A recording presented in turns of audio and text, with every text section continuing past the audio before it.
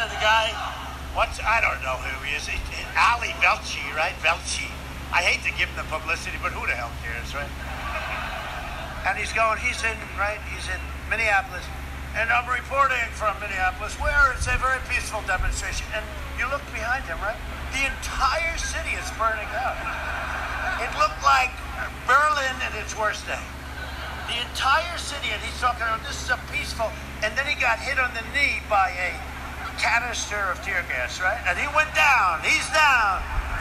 And honestly, I felt very badly that he was down. Okay. I felt very badly that he was down, but he got hit by, I think, either pepper spray or a canister of tear gas. He went down. I've never seen anyone go down so fast. Anyway, then these guys, they lined up, they came in, they lined up, lined up, four lines, very tight, bomb, beautiful looking people, and then they just walked. That was the end of it. It ended, right? That was the end of it. The only thing easier would be Portland. Those are anarchists, you know, those are.